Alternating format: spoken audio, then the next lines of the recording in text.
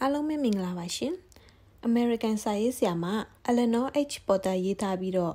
ဆရာထင်လင်းဘာသာပြန်ဆိုခဲ့တဲ့မေတ္တာရှင်မကလေးပေါ်လီယာနာဆိုတဲ့စာအုပ်လေးကိုဆက်လက်ဖတ်ပြပေးသွားမှာဖြစ်ပါတယ်ရှင်အပိုင်းရှစ်ပေါ်လီယာနာအလေသွားခြင်းများမကြာမီပင် Harrington အင်ဂျီ၌စီကန်းသေးဝတ်တကဲ့သို့ဖြစ်လာသည်တော်ပေါ်လီမူလာကချမှတ်ထားသောစီကန်းမျိုးကမဟုတ် ပေါ်လီယာနာအချုပ်အလုတ်တင်သည်စန္ဒယာတီကျင့်သည်အတန်ထွက်၍စာဖတ်သည်မိဖို့ခန်းထဲတွင် အချက်အပြုတ်လေးလာသည်မှန်ပါသည်သို့သောပေါ်လီယာနာသည်ဤလုပ်ငန်းများတွင်မူလကတတ်မှတ်ထားသောအချိန်ပြည့်အောင်တော့ဘယ်နေရာမှမလုပ်ချေသူနှိမ့်ချိုက်သလိုနေဖို့အတွက်အချိန်ပို၍ရသည်အကြောင်းကနေ့စဉ်လိုပင်ညနေပိုင်းနာရီပြန်နှစ်ချမ်းမှ6နာရီအထိအချိန်သည် အန်တီပေါ်လီကတားမြစ်ပိတ်ပင်ထားတာမျိုးမဟုတ်ရင်ပေါ်လီယာနာသည်သူလှုပ်တာသူကြိုက်တာကိုသူလှုပ်နိုင်သောသူပိုင်အချိန်ဖြစ်လာသောကြောင့်ဖြစ်သည်ခလေးကိုဤမြအားလက်ချိန်ပေးထားခြင်းမှာပေါ်လီယာနာအားအလုတ်မှနားခွင့်ပေးထားသည့်သဘောလားဒါမှမဟုတ်သူ့အန်တီပေါ်လီယာပေါ်လီယာနာနှင့်လွတ်ရာတွင် နားခွင့်ရစေသည့်သဘောလားစဉ်းစားဖွယ်ရပင်ဖြစ်သည်တကယ်တော့ဇူလိုင်လပထမတပိုင်းလုံးလိုလိုပင် တော်ပေါ်လီမာတကယ်ရှားမှရှားပါပဲတော့ဟုအော်ရသည့်အကြိမ်ပေါင်းများခဲ့ပြီးဖြစ်၏စာဖက်ချိန်နဲ့အချုပ်အလုပ်တင်ချိန်များပြီးဆုံးတိုင်းမှာတော့ဘာမှလှုပ်ချင်စိတ်မရှိတော့လောက်အောင်ပင် အားအင်ကုန်ခန်းပင်ပန်း၍ကြံရစ်သည်တာများခဲ့၏မိဖို့ထဲမှနန်စီကသူ့ထက်သားပါသည်အားအင်ကုန်ခန်းသည်လည်းမရှိ ပင်ပန်းသည်လည်းမရှိပုတ်တဟူးနေ့နဲ့စနေနေ့များသည် သူ့အဖို့နေ့ထူနေ့ရက်မြတ်များသာဖြစ်သည်ဟယ်ရင်တန်လမ်းမကြီးနဲ့အနီးအနားပတ်ဝန်းကျင်တွင် ပေါ်လီယာနာနဲ့ကစားရန်ကလေးများမရှိချေအင်ကြီးကလည်းရွာဤအစွန်တွင်ဖြစ်သည်မနီမဝေးအရက်တွင် အခြားအိမ်များရှိတော်လဲထိုအိမ်များတွင် ပေါ်လီယာနာနှင့်ရွယ်သူမိန်းကလေးများမရှိယောက်ျားကလေးများလည်းမရှိသို့တော့ပေါ်လီယာနာကတော့ ဒီအတွက်အနှင်းငယ်မြစိတ်အနှောက်အယှက်ဖြစ်ဟန်မရှိချေ။သမီးဖို့တော့ကိစ္စမရှိပါဘူးမမနန်စီ။သမီးကလမ်းလျှောက်သွားပြီးအိမ်တွေလူတွေကိုကြည့်ရင်ပြောတာပဲ။လူတွေကိုသမီးချစ်တယ်။မမဝင်ဟုပေါ်လီယာနာကပြောတတ်သည်။อืมချစ်တယ်လို့တော့မပြောနိုင်ဘူး။အားလုံးကိုတော့မချစ်ဘူး။ဟုနန်စီကသူဆက်ဆက်ပြန်ပြောသည်။ตาရသောညနေပိုင်းများလိုလိုပင် ပေါ်လီယာနာသည်သူ့ကိုတနေရာသို့တခုခုခိုင်း၍လှုပ်ရန်တောင်းတောင်းပန်ပန်ပြောနေသည်ကိုတွေ့ရတတ်သည်သူသည်တနေရာမဟုတ်တနေရာသို့လမ်းလျှောက်ထွက်ခြင်းနေသည်ဤသို့မကြာခဏလမ်းလျှောက်ထွက်ရင်းကပင် သူသည်ဤလူကြီးနှင့်တွေ့ခဲ့ခြင်းဖြစ်သည်ပေါ်လီယာနာအဖို့တော့ထိုနေ့ကတခြားလူကြီးဘယ်နှယောက်နဲ့ပင် တွေ့ခဲ့တွေ့ခဲ့သူအဖို့လူကြီးဆိုသည်မှာဤလူကြီးသာဖြစ်သည် ထိုလူကြီးသည် ကောက်အင်ကြီးရှိအနက်ကြီးကိုဝတ်လျက်ပိုးသားအုပ်ထုပ်ကိုစောင်းထားသည်ဤအရာနှစ်ခုမှာတခြားလူကြီးများဘယ်တော့မှမဝတ်ဆင်သောအရာများဖြစ်သည်သူဤမျက်နှာမှာမှုတ်စိတ်မွေးပတိုင်းမွေးများမရှိပြောင်စင်အောင်ရိတ်ထားလျက်ရှိပြီးဖြူဘက်ဖြူရောရှိလာသည်အောက်ထောက်အောက်တွင်မြင်ရသောသူဤစပင်သည်မွဲ66အယောင်တစ်မျိုးဖြစ်သည်သူသည်ကိုကိုမဲ့၍ဖြက်လက်စွာလမ်းလျှောက်လေရှိသည် သူ့ကိုမြည်သည့်အခါ၌မဆိုတယောက်သေးသာတွေ့ရတတ်သည်ထို့ကြောင့်ပင်လင်ပေါ်လီယာနာသည်သူ့အတွက်စိတ်မကောင်းဖြစ်မိသလိုရှိ၏ထို့ကြောင့်ပင်ပေါ်လီယာနာသည်တနေ့တွင် သူ့ကိုနှုတ်ဆက်မိလေသည်။ဦးနေကောင်းရဲ့လားဒီနေ့နေတာတယ်နော်။ဟုပေါ်လီယာနာကသူ့အနာသို့သွားပြီးရှင်ပြစွာနှုတ်ဆက်သည်။လူကြီးသည်သူ့ဘေးပတ်လည်သို့ကြပြကြရာကြည့်လိုက်ပြီးဇဝေဇဝါဖြင့်ရပ်လိုက်၏ မင်းလာငါ့ကိုစကားပြောတာဟုစူးရှသောအတန်ဖြင့်မေ၏ဟုတ်ပါတယ်ဒီနေ့နေတာတယ်လို့ပြောတာပါဟုပေါ်လီယာနာက ပြုံးရှင်စွာ ပြန်ပြောသည်ဟေးအင်းအင်းလူကြီးကဤမြတာအတန်ပြည့်၍ရှောက်မြဲဆက်လျှောက်သွားသည်ပေါ်လီယာနာကရည်ရင်ကြံရစ်သည်ဤလူကြီးကရည်စရာကောင်းသောလူကြီးပါတကားဟုသူထင်သည်နောက်တရက်တွင်လဲသူ့ကိုတွေ့ရပြန်သည် ဒီနေ့တော့မနေ့ကလောက်မตายရဘူးเนาะဒါပေမဲ့စိုးတော့မစိုးပါဘူး ဟုပေါ်လီယာနာကရှင်လန်းစွာနှုတ်ဆက်ပြန်သည်လူကြီးကဟဲအင်းอืมဟုအတန်ပြုကဆက်လျှောက်သွားတော့ပေါ်လီယာနာရည်ပြန်သည်ဤနည်းအတိုင်းပင်ပေါ်လီယာနာကလူကြီးအားတတိယအကြိမ်နှုတ်ဆက်တော့လူကြီးကရုတ်တရက်ရက်လိုက်ပြီးဟဲ့ခလေးမင်းဘဒူတုံတို့ဘာလို့နေ့တိုင်းနှုတ်ဆက်နေတာလဲဟဲ့ တမီးကပေါ်လီယာနာဝစ်တီယာလို့ခေါ်ပါတယ်။ဦးကိုကြည့်ရတာတော့တယောက်တည်းပြင်းစရာပုံကောင်းတာနဲ့နှုတ်ဆက်တာပါ။ဦးရဲ့ပြီးစကားပြောတာတမီးတဲ့ဝမ်းတာတာပဲ။ကဲမိတ်ဆက်လို့တော့ပြီးပြီ။ဦးနမယ်ကိုတော့မသိရသေးဘူး။อืมတကယ်ကိုပဲ။လူကြီးကသူ့စကားသူဆုံးအောင်မပြောတော့ပဲရခင်ကထက်မြင်မြန်ဆက်လျှောက်သွားလိ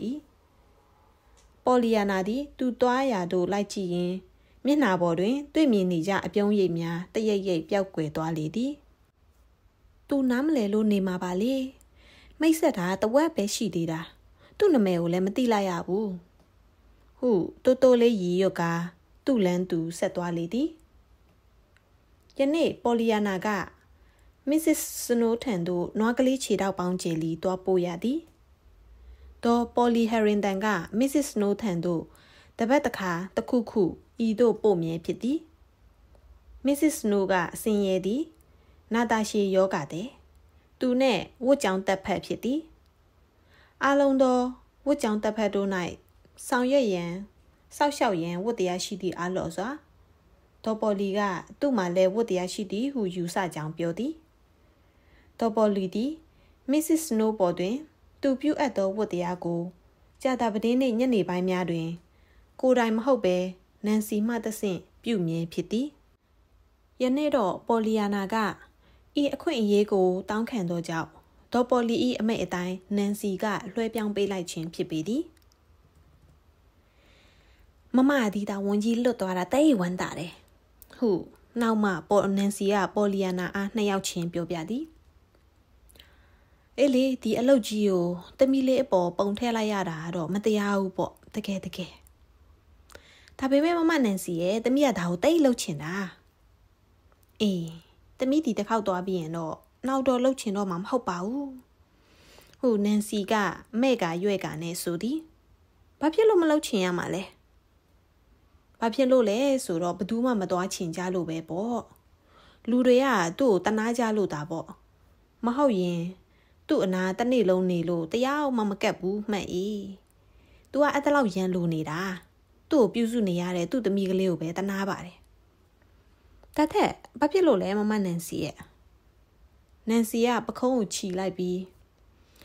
အေးရှင်းရှင်းပြောရရင်အဲ့ဒီ Mrs. Snow ဆိုတဲ့မိမကြီးရဲ့မျက်စိထဲမှာဘာဖြစ်ဖြစ်အကောင်းကိုမမြင်ဘူး။နေ့တွေရက်တွေကအစသူ့စိတ်တိုင်းကြမဖြစ်နေဘူး။ဒီနေ့တနင်္လာနေ့ပါလို့ဆိုလိုက်ရင် तू ကတနင်္ဂနွေဖြစ်ရင်ကောင်းမယ်လို့ပြောမှာပဲ။ तू စီကိုဂျယ်လီတော့ပို့ရင် သူချက်သားဟင်းစားချင်တယ်လို့ပြောမှသိချတယ်။ဒါပေမဲ့ချက်သားဟင်းယူသွားပြန်တော့ရင်လေသူတောင်းတနေတာတူသားဟင်းဖြစ်အောင်မှာပဲ။ဟွန်းအင်းနော်တော်တော်ရည်စရာကောင်းတဲ့မိမကြီးပဲ။ဟုတ်ပေါ်လီယာနာကပြော၍ရီးလိုက်ပြီးတမိသူ့တော့တွေ့ချင်ပါတယ်။သူ့ကိုတွေ့ရရင်အံ့ဩစရာထူးခြားတာတွေတွေ့ရမှာပဲ။တမိကထူးခြားတဲ့လူတွေကိုချစ်တယ်ဟုဆိုလိုက်သည်။အေးအေး Mrs. Snow ထူးခြားလို့တမိကချစ်ရင် ကျန်တဲ့တို့သူတွေအတွက်တက်တာတာပေါ့ဟုတ်နန်စီကဆိုသည်ယနေ့ပေါ်လီယာနာဤစကားများကိုပြန်၍တတိယရင်တဲကုတ်ကလေးရှိရာဝင်းဝါသို့ချိုးဝင်ခဲ့သည်ထူးခြားသောမစ္စစ်စနိုးကိုတွေ့ရတော့မည်ဖြစ်၍သူ၏မျက်လုံးများမှာအယောင်တလက်လက်ထွက်လျက်ရှိလေသည်သူကတကားကိုခောက်လိုက်တော့မျက်နှာဖြူဘက်ဖြူရော်နဲ့ပင်မနွမ်းနေဟန်ရှိသောမိန်းကလေးတစ်ယောက်ကဖွင့်ပေးသည်နေကောင်းရဲ့လား ဟုပေါ်လီယာနာကယဉ်ကျေးစွာနှုတ်ဆက်ပြီးတမီးကဒေါ်ပေါ်လီဟယ်ရင်တန်စီရပါမစ္စစ်နိုးကိုတွေ့ချင်လို့ပါဟုခွင့်တောင်းလိုက်၏อืมတွေ့ချင်တပါဆိုလဲတွေ့ပေါ့အမေကိုတွေ့ချင်တာညီးပဲရှိသေးတယ်ဟုသူ့ပါဇက်ကတူတူဆိုမိသည်ပေါ်လီယာနာကတော့မကြားချေမိန်းကလေးရှေ့မှလမ်းပြရင်းဝင်သွားပြီးတကားတစ်ခုကိုဖွင့်လိုက်တော့လူမမာနေသည့်အခန်းမှာမှောင်မှိုင်းနေသည်ဖြင့် ပေါ်လီယာနာလည်းသူ့မျက်စိများကိုကျင့်သားရအောင်အတော်အားဆိုင်ကြည့်ရသည်ဤမြမောင်သောအခန်းတွင်ဝယ်အဲ့ရာပေါ်၌တဝက်အိတ်တဝက်ထိုင်အနေအထားပြည့်ရှိသောမိမတယောက်ဤတဒံရီရေးကိုမြင်ရသည်ပေါ်လီယာနာသည်ရှေ့သို့တိုးသွားရင်းမစ္စစ်နိုနေလို့ကောင်းရဲ့လားအန်တီပေါ်လီကတော့ဒီနေ့မစ္စစ်နိုတက်တာလိုက်မယ်လို့မျှော်လင့်ပါတယ်တဲ့။ "तू ကနွားကလေးခြေလောက်ပေါင်ကျဲလီကိုလည်းပုတ်ခံလိုက်ပါတယ်။ဟုပြောလိုက်၏။ အမလေးအေးကျဲလီတဲ့လား။ဟုညီညီညူညူအတန်တစ်ခုထွက်လာပြီးအေးလေကျေးဇူးကတော့တင်ပါတယ်။ဒါပေမဲ့ငါကတော့ဒီကနေ့တိုးသားဟင်းများလာမလားလို့မျှော်နေတာ။ဟုဆက်ပြောသည်။ပေါ်လီယာနာအနှဲငယ်မျက်မှောင်ကျုံမိ၏။အော်တမီးကတော့ Mrs. Snow jelly ရတဲ့အခါจิตသားဟင်းစားချင်တယ်ဆိုလားလို့ဘိုင်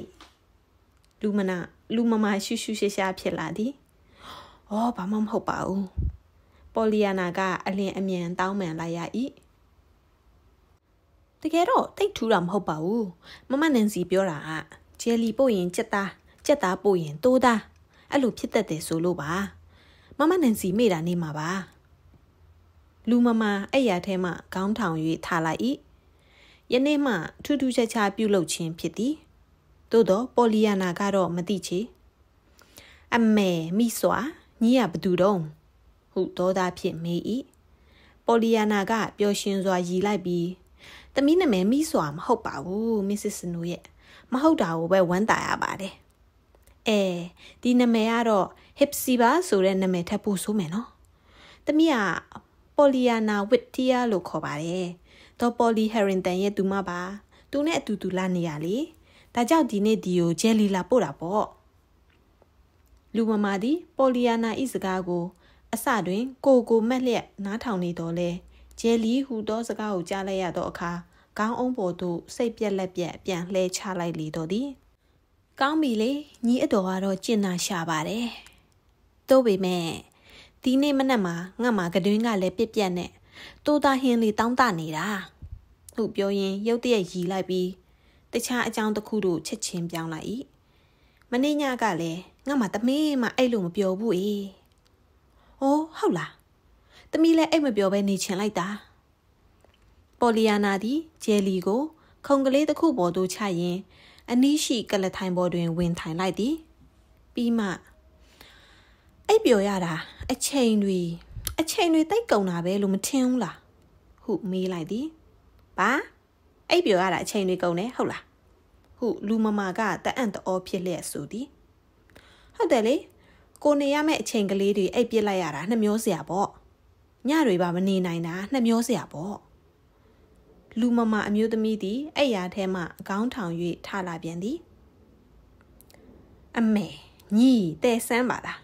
ဟိုပတင်းတကာတော့ဖွင့်စမ်းညီဘလို့နေလဲလို့ငါကြည့်စမ်းချင်တယ်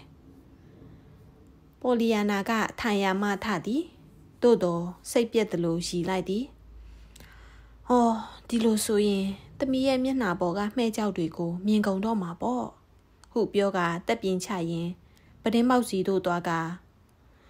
တမီးကမှောင်နေလို့ဒီအပြောက်အဆက်တွေကိုမမြင်ရတော့ဘူးဆိုပြီးဝမ်းသာနေတော့ကဲကဲအခုဆိုမြင်ရပြီပေါ့ပြောပြောဆိုဆိုပြန်လှည့်အလာတွင် Mrs. Snow တမီးကိုကြည့်ချင်တယ်ဆိုတာဝမ်းသာပါတယ်။ဒါမှတမီးလည်း Mrs. Snow ကိုမြင်ရမှာ။အိုး Mrs. Snow Mrs. Snow ဒီလောက်လှတာတမီးကိုသူတို့မပြောပြကြဘူးလေ။ဟုရုတ်တရက်ဆိုလိုက်လေသည်။လူမမာကငါ့ကိုလိုက်အေးလှတယ်ဆိုတာ။ဟုခခတီတီဆိုလိုက်လေသည်။အိုးဟုတ်တယ်လေအတော်မသိဘူးလား။ဟုပေါ်လီယာနာကပြန်ပြောသည်။ဟမ်မသိပါဘူးဟုမစ္စစ်စနိုးကပြန်ဖြေသည်မစ္စစ်စနိုးမှာအသက်40ရှိပြီထိုအသက်ပိုင်းတွင်15နှစ်မှာအလိုမကျနိုင်သည်ကများလွန်းသဖြင့် အရှိကိုအရှိအတိုင်းမမြင်ခဲ့ရချေ။အိုးတော်တော်မျက်လုံးကြီးတွေကဝိုင်းဆက်ပြီးတော့မှောင်နေတာစပင်တွေကလည်းနှက်မှောင်ပြီးတော့အခွေအခွေနေတာ။တမီးကစကွင်စပင်အခွေလေးတွေကိုတိတ်ချစ်တာ။တမီးကောင်းကင်မုံရောက်ရင်အဲ့လိုစပင်အခွေခွေလေးတွေနဲ့ရမယ်လीပြီးတော့တတော့ပါပေါ်မှာလဲမှဲ့နေကလေးနှလုံးနဲ့မစ္စစ်စနိုးတကယ်လှပါတယ်ကိုကိုကိုလည်းမှန်နဲ့ပြန်ကြည့်ရင်သိမှာပဲထင်တယ် မှန်ဟုတ်လားလူမမအမျိုးသမီးကြီးကခေါင်းအုံးပေါ်သို့ပြန်လှဲချရင်ဖြတ်မိသည်အင်းဟုတ်ပါရဲ့ငါမှလည်းမှန်ရှိမှမပြုတ်မပြင်းနိုင်တော့ပါဘူးအေးငါလိုပဲအဲ့ရတဲ့ပက်လက်ဖြစ်နေတော့လေဘသူလုံနိုင်တော့မလဲဟုတ်တာပေါ့ဘယ်လုံနိုင်ပါမလဲပေါ့ပေါ်လီယာနာကကိုချင်းစာမြေဟန်ဖြစ်ပြောလိုက်ပြီးဒါပေမဲ့နေအောင်လေတမိပြပါမယ် ဟုဆိုကဘီရိုစီတို့တွား၍လက်ကင်ကြည့်မှန်လေးတစ်ခုကိုယူလိုက်၏အဲ့ရာစီတို့ပြန်လာရာတွင် လူမမအားအကဲခတ်တယ်လို့ကြည်လာသည်မပြခင်တော့လီအတော်စိတ်မဆိုးဘူးဆိုရင်စပင်လေးနည်းနည်းတမီနည်းနည်းလေးတော့ပြုတ်ပြင်လိုက်ချင်သေးတယ်လောက်ရမလားတူတော့ခုမေးသည်မစ္စစ်စနိုးကတိတ်မကြည်မနဲ့ပင်ညီတဘောပဲလှုပ်ချင်လို့ပေါ့ဒါမဲ့ကြကြတော့နေမှာမဟုတ်ပါဘူး ဟုဆိုသည်ကျေးဇူးပဲတမီးကသပင်တွေပါတွေပြုပြင်လောက်ကန်ရတော့တိတ်ကြိုက်တာဟုပေါ်လီယာနာကပြောကလက်ကင်ကြည့်မှန်လေးကိုအသာချလိုက်ပြီးဘီးတစ်ချောင်းကိုလှမ်းယူလိုက်သည်ပြီးမှဒီနေ့တော်တော်ပဲလောက်လှလဲဆိုတာပြရုံလောက်ပဲမို့အမြန်လှုပ်ချင်လို့တိတ်မလှုပ်ပါဘူးနောက်တနေ့အချိန်ကောင်းကောင်းရမှကြည်ကြနာနာလှုပ်ပေးမယ်ဟူဆိုကလူပမာအမျိုးသမီးကြီး၏နှစ်ဖူးပေါ်အုတ်ကျနေသောစွေများကို သူ၏နူးညံ့သောလက်ချောင်းကလေးများဖြင့်ဖီးတင်တက်ရက်နေလေ၏ပေါ်လီယာနာသည်9မိနစ်မြကျင်လေဖြက်လက်စွာအဖေးရခတ်သောစပင်ခွေများကိုပွပွရွရွဖြစ်အောင်ဖီး၍လပင်း၌တွန့်နေသည်များကိုလည်းတက်ရက်အောင်ပြုပြင်၍ကောင်းမီဖို့အစဉ်သင့်ဖြစ်စေရန်ခေါင်းအုံးကိုလည်းပြုပြင်၍ပေးလိုက်သည်ထိုအချိန်တစ်ချိန်လုံးတွင် လူမမာသည် မျက်မှောင်ကြီးကျုပ်ကနှကန်းကြီးစူးလျက်မနှင်းမျိုးဟန်ပြတော်လဲ စိတ်ထဲတွင်မူကထူးထူးဆန်းဆန်းလှုပ်ရှားလျက်ရှိ၏ကဲပေါ်လီယာနာသည်အနီးအနားရှိပန်းတကောင်းမှပန်းတပွင့်ကိုဆွတ်ယူလိုက်ကလူမမာဤစပင်တွင် အလှဆုံးနေရာ၌ပန်ပေးလိုက်သည်ကဲအခုဆိုကြည့်လို့ရပြီဟုဆိုကမှန်ကလေးကိုကောက်ယူ၍လူမမာရှိတွင် ထောင်ပြလိုက်လေသည်ဟွန်း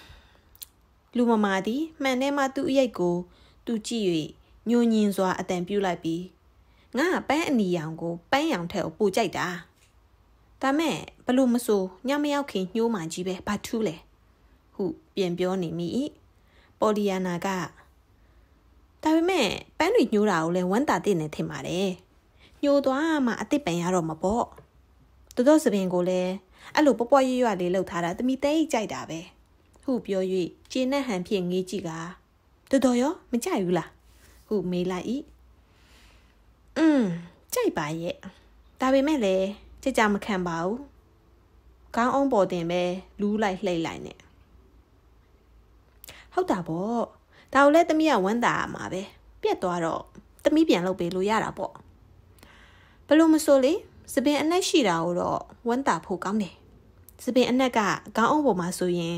တမီးတို့စပင်အဝါထက်ကိုကြည့်လို့ကောင်းတယ်ဟုတ်ပါလိမ့်မယ်ဒါပေမဲ့စပင်အနက်ကိုတော့တိတ်အားမကိုစပင်ဖြူရင်တိတ်တိတာလွယ်တယ်ဟုမစ္စစ်စနိုးကခြေပသည်သူသည်မကြည်မနဲ့ပြောနေ၏သို့တော့သူမျက်နှာရှိတွင်ကမှန်ကိုထောင်၍ကင်ထားလျက်ပင်ရှိသည်။သမီးတော့စပင်အနက်ကိုတိတ်ချစ်တာပဲ။ သမီးစပင်အနက်ဆိုရင်တိတ်ဝမ်းသာမှာပဲ။ Mrs. Snow ကမှန်ကိုပြန်ချလိုက်ပြီးမတက်မသားလှည့်သွားသည်။ညီငါနေရာမှာဆိုရင်ဝမ်းသာမှာမဟုတ်ပါဘူးအေး။စပင်အနက်ပဲဖြစ်ဖြစ်ဘာပဲဖြစ်ဖြစ်ငါလိုတနေ့လုံးအဲ့ရထဲမှာကြီးနေနေရရင်ဝမ်းသာစရာဖြစ်မယ်မထင်ပါဘူးပေါ်လီယာနာကစဉ်းစားသလိုမျက်ခုံချီလိုက်ပြီး အင်းပေါ်လေအဲ့လိုဆိုရင်တော့လေနည်းနည်းတော့ခက်တာပေါ့နော်သူ့ဘာသာသူပြောသလိုဖြစ်အတန်ထွက်လာခြင်းဖြစ်သည်ဘာလဲနည်းနည်းခက်တာဝမ်းတာဖို့ပေါ့ဝမ်းတာဖို့ဟုတ်လားနေ့တိုင်းအဲ့ရထဲမှာလူမမဖြစ်နေရင်ဟုတ်လားခက်တာပေါ့အေးမခက်ဘူးထင်ရင်ဝမ်းသာစရာဘာရှိလဲပြောပါအောင်ကဲပေါ်လီယာနာသည်ထိုင်ရာမှထားလိုက်ပြီး လက်ခုပ်ကလေးတီးလိုက်သည်ဖြင့်မစ္စစ်စနိုးမှအံ့အားတင်သွားသည်ကောင်းတယ်ကောင်းတယ်ဟုတ်တယ်ဒီဟာတော်တော်ခက်တယ်နော်အခုတော့သမီးပြန်ရအောင်မယ်ဒါပေမဲ့အိမ်ပြန်ရင်လမ်းမှာစဉ်းစားသွားမယ်နောက်တစ်ခါလာရင်တော့อืมပြောပြနိုင်လိမ့်မယ်ထင်ပါတယ်သွားမယ်နော်တော်တော်နဲ့စကားပြောရတာတိတ်ပြောတာပဲသွားမယ်နော်ပေါ်လီယာနာထွက်သွားမှအံပါရဲ့ဘာတွေများရှောက်ပြောသွားလဲမသိဘူးဟုရီယုက သူထွက်သွားရသို့ငေးကြည့်ရင်ကြံရစ်ခဲ့လေသည်မြားမကြမီပင် သူ့ကောင်းကိုလှဲ့ကာမှန်ကလေးကိုကောက်၍ရှေ့တွင်ထောင်ပြီးသူ့ကိုယ်သူအကဲခတ်သလိုကြည့်နေလေတော့သည်ဒီကောင်မလေးကစပင်အကင်တကယ်တက်ပါလားတကယ်ပဲဟုသူ့ကိုယ်သူပြောပြီးငါစပင်တလောက်လှအောင်လုပ်လို့ရတာငါတော့မသိဘူးဒါမဲ့ဘာလို့ဖို့လဲလေဟုဆိုကမှန်ကလေးကိုအဲ့ရပေါ်ပြစ်ချလျက် သူ့ကိုယ်သူခေါင်းအုံးပေါ်သို့ပြစ်လှဲချလိုက်ပြီးစိတ်ပြက်လက်ပြက်လှိတ်၍နေလေသည်ခဏကြာ၍မစ္စစ်စနိုဤသမီးမီလီဝင်လာတော့မှန်ကလေးသည်အိယာပေါ်မှာပင်ရှိနေသေးတော့လဲမစ္စစ်စနိုကဖွက်ထားသည်ပဒင်းပေါက်ခန်းစည်းတွေတင်လို့ပါလားမမေဟုပြောကပဒင်းပေါက်တလှဲ့သူ့မိကောင်းကပန်းမွင့်အောင်တလှဲ့ကြည်နေလေမိသည်လူမမာကဒါဘာဖြစ်လဲဟဲ့ နေမကောင်းတာနဲ့ပဲတက်တက်လုံးအမှောင်ကြီးထဲမှာနေရတော့မလားဟုဆိုလိုက်သည်မီလီကအစေးတိုက်ရင်ပလင်းကိုယူလိုက်ရင်မှမနေရပါဘူးအမေရဲ့ကောင်းပါတယ်အရင်ကအမေကိုလင်းလင်းချင်းချင်းနေဖို့ပြောနေတာကြာလှပြီးရောအမေမှမနေလို့ဟာပဲချွတ်ချော့မော့မော့ပြန်ပြောရသည်မစ္စစ်နိုကဘာမှမပြောပဲသူ့ညဝတ်အင်ကြီးမှဇာနာကိုဆွဲ၍ကန်ရင်ကအတော်ကြာမှစကားပြော၏ တိုးသားဟင်းတွေဘာတွေပို့နေမဲ့အစားညဝတ်အင်ကြီးအစ်စ်ကလေးပါလေးပေးရရင်ကောင်းမယ်ထင်တယ်။အော်အမေရဲ့မီလီယာတအံ့တော်ဆိုမိဒီမှာမဆန်းပါယခုပင်လေနောက်ကအန်ဆွဲထဲတွင် မီလီကသူ့အမေကိုလဲဝတ်ရန်ဖြောင်းပြခဲ့တော်လဲမရသဖြင့်တိန်ထားခဲ့ရသောညဝတ်အင်ကြီးအစ်စ်နှစ်ထည်ပင်ရှိနေသေးသည်မဟုတ်လား နောက်ထပ်အခန်းတွေကိုလည်းဆက်လက်ဖတ်ပြပေးသွားပါမယ်ရှင်ခုလိုနားဆင်ပေးကြတဲ့အတွက်ကျေးဇူးအများကြီးတင်ပါတယ်ရှင်